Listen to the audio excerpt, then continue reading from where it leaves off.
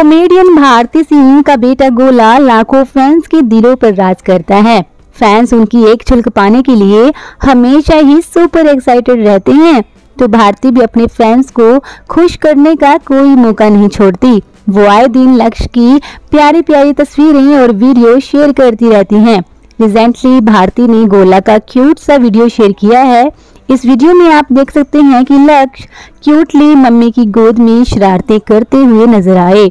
इस दौरान गोला येलो टी शर्ट और ब्लू पजामे में सुपर एडोरेबल लग रहे हैं।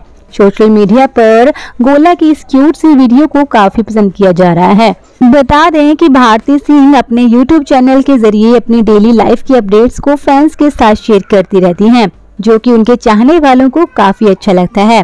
वेल well, दोस्तों आपको गोला का ये लेटेस्ट वीडियो कैसा लगा? प्लीज़ हमें कमेंट में बताना मत भूलिएगा। और साथ ही ऐसे ही मोर अपडेट के लिए हमारे चैनल को सब्सक्राइब करना मत भूलिएगा।